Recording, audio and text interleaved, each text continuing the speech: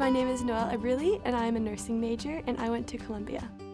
On this trip, I really feel like the Lord was showing Himself to me through community, and my team was just a perfect image of that. We were all placed perfectly, and like the Lord had a specific role for each of us, and I really felt like we were able to grow with each other and alongside of each other, and it was just a beautiful image of the Lord.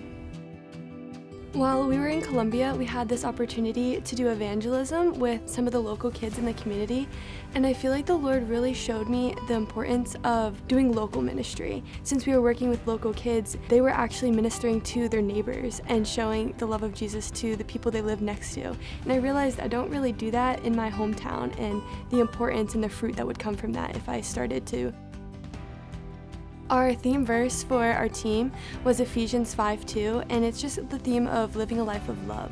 And we actually had a bunch of different people, like without knowing our theme verse, speak that over us and say how we really like embodied love.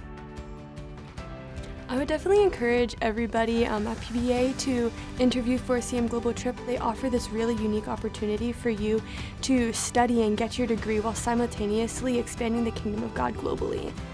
Thank you to the donors of PBA so much for not only providing us an opportunity to get education, but also to enrich the kingdom of God and to share the gospel to those who might not know who Jesus is and to actually have a relationship with the Lord.